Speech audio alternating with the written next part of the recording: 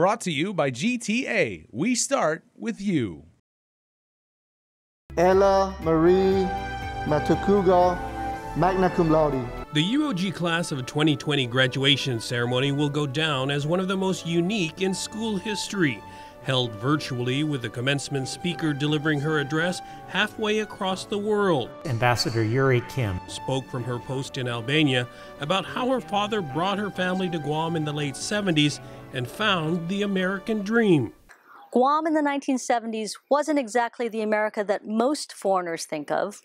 No highways, no cowboys, definitely no skyscrapers. But it was America just as it was supposed to be warm, friendly, and full of possibility. Hers was a message of perseverance, how her father drove around for years in a rusty old pickup truck, and how her mother once had to break into young Yuri's piggy bank just for gas money. But eventually, her father opened his own contracting and engineering company. To this day, I cannot pass a construction site without thinking of my parents and their perseverance, their hard work, and their faith that we can always, always get back up. This year's graduates and the world, she points out, are in the midst of an unprecedented time of turmoil.